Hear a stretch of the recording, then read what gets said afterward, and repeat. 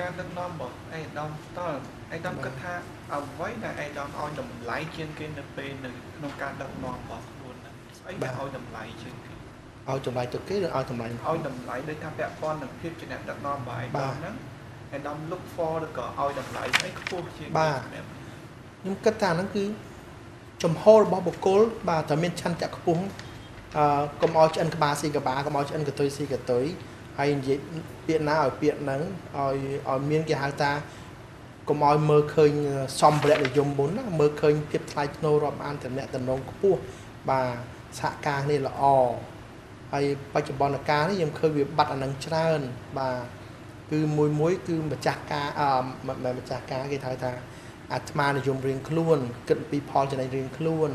បើណាមិនគិតប្រទេសណាស្រុកណាប្រភពណាសង្គមណាក៏គិតដែរប៉ុន្តែ គេផ្ដោតទៅលើអឺ ផងឲ្យរួមផលប្រយោជន៍រួមច្រើន គេគិតអំពីដល់ក្មេងនិស្សិតសង្គមដល់យុវជន ចំនួនក្រោយអាអនាគតជាតិអនាគតលូតលាស់របស់ក្មេងបាទ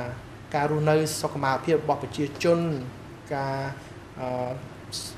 សវត្ថភាពនិងភាពកក់ក្ដៅសុខដុមរមនារបស់អឺអឺជាពិសេសយុវជនយុវនារីយើងនេះដែលជាអនាគតស្នូលរបស់ ប្រទេសជាតិយើងនេះគេគិតដល់នឹងច្រើនតែមោទនភាពដ៏ដងឧត្តមនៃគ្រួសារខ្ញុំនិងមនុស្សជាតិ